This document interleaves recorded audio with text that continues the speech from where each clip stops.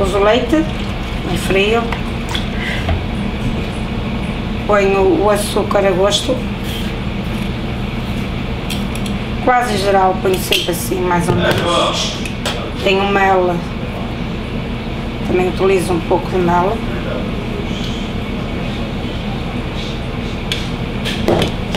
Tenho a canela, mais ou menos uma pitadinha de canela.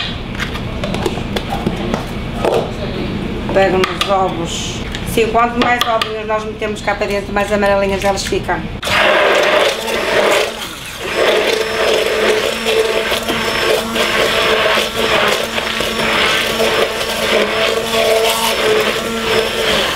Pego assim no pão.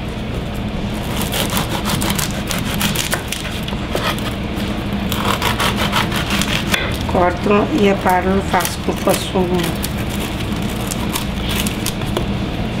Ela está descascada e eu meto-na aqui de molho.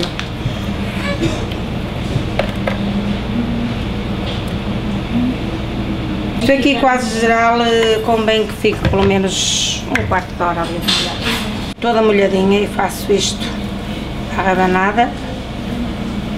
Passo, tenho aqui o ovo batido.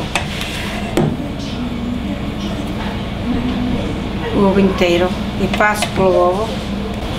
Não tem nada que saber. Fazê-lo com um bocadinho de amor e um bocadinho de perfeição. Ela dá-lhe esta estrutura. Eu para o óleo.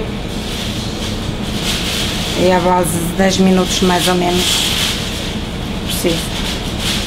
Com este calorzinho ela não, não fica escura.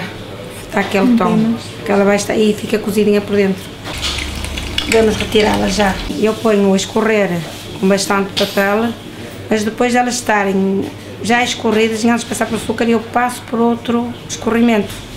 Ponho no outro lado, a tentar refacê-las, elas a escorrer. E olho para elas que elas ficam sequinhas. Agora estou a passá-las por açúcar e canela.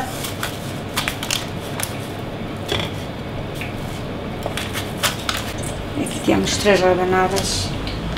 Eu quis fazer um prato um prato típico poveiro. Acho que as conchas representam bem a povo, o mar, a estrelinha, para dizer mesmo que é mar. Aqui as folhas de laranjeiras cortadas em azevinho, com groselhas, é para imitar de uma maneira comestível, é? para quem gostar, eh, o azevinho. O prato preto e branco representa as cores da nossa povo, que é o vorzinho. Aqui é o molho de pinhões com com frutos secos e o vinho da madeira, com mel. Aqui é o creme de ovos moles, que também apresentamos nas conchinhas.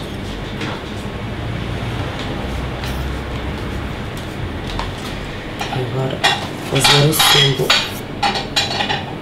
da polva de varzinho com o creme de ovos.